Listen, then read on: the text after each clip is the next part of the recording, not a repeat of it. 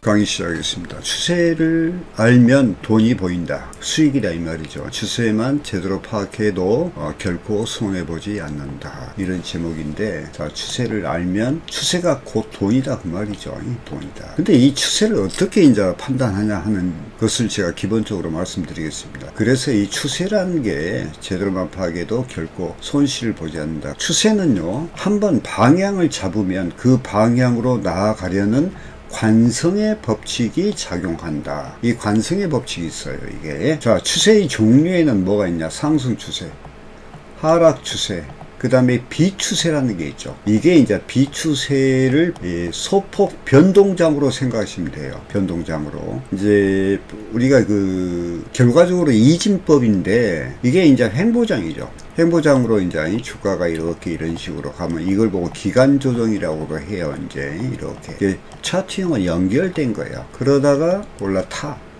그래서 이제 추세가 나죠. 어, 그리고 여기 이평선은 이렇게 올라가겠죠. 예, 올라가. 그 다음에 이제 따라온 이평선은 이렇게 됐다 하고. 이게 이제 하락으로 가는 것은 이게 되죠. 이렇게 되겠죠. 이런 식으로. 그러면서 하락 이평이 이렇게 그 다음에 이평선이 이렇게 되는 거야 그래 이제 여기에서 보면 이 이렇게 이걸 보고 기간 조정이라고 그래요. 기간 조정도 횡보 기간 조정이 있고 변동 구간 기간 어, 기간 조정이 있거든요. 예. 그래 이제 이렇게 여기 뭐 중심선이 있다고 그래. 이것도 이렇게 나눠지고 이것도 이렇게 나눠지고 이제 여기는 이렇게 간 것이 없지요. 이제 그리고 추세가 나죠. 추세가 나서 여기서 이렇게 떨어지는 거 보고 요게 기간 조정 여기서 이렇게 떨어져서 이렇게 올라 올라가죠. 이걸 보고 하락 조정이라고 그래. 하락 조정이라는 것은 관성의 법칙에 의해서 바로 상승 추세로 이어지는 것이고 네, 여기에서 이렇게 올라쳐. 이걸 보고 반등이라고 그래. 반등.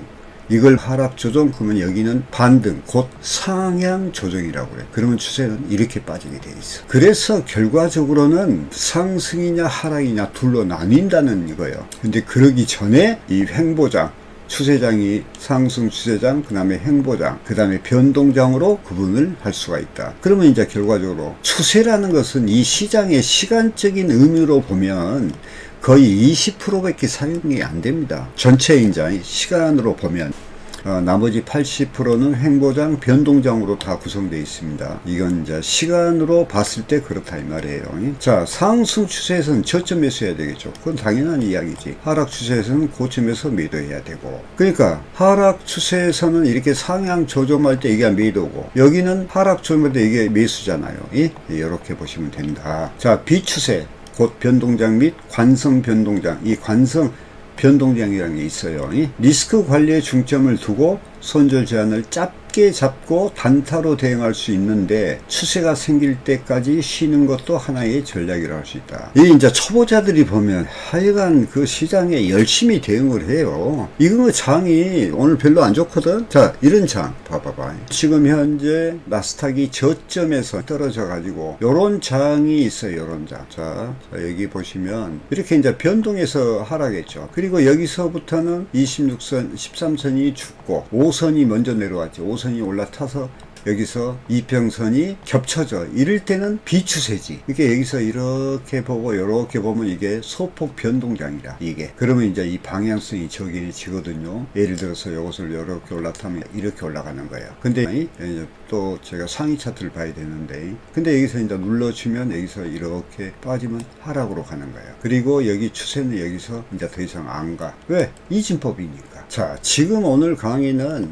상승 추세 여기 이 부분 하락 추세 이게 돈이 된다 하는 이야기예요. 요거 이런 기간 조정 변동장은 돈이 안 돼. 그렇죠? 예?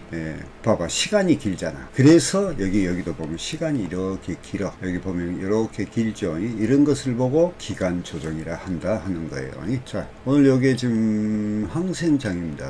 자 여기 이렇게 보시면은 지금이 어, 이게 5, 13선이 여기 지금 30분에 내려와 있고 여기는 5선이 내려와 있잖아. 그러면 이, 게 지금 오늘 이렇게 이렇게 올라타기가 쉽거든. 왜냐면 이게 240분 봉과 이렇게 시간 프레임에 따라 틀려. 이게 또 일봉으로 보면 이렇게 보이죠. 그러니까 여기 일봉으로 보면은 여기가 변동 평행 하락 평행 사변형이요 5선이 내려면서 들락달락 들락달락 이렇게 내려온 것을 평행 사변형이라고 그래요. 자, 이제 제가 기본적인 것만 말씀드린 겁니다. 추세가 생길 때까지 어, 쉬는 것도 하나의 전략이라고 어, 말할 수가 있다. 자, 상승 추세의 특징은 이동평균선이 이평선이 정별돼 있고 주가의 저점과 고점이 꾸준히 높여서 상승하는 것이고 하락 추세의 특징은 이평선이 역별로 돼 있고 고점과 저점이 꾸준히 낮추며 하락된다. 이제 상승 추세, 하락 추세 있잖아요. 그러면 이게 이렇게 되는 거예요. 그 상승 추세는 이렇게 되는 거라 이거예요. 예?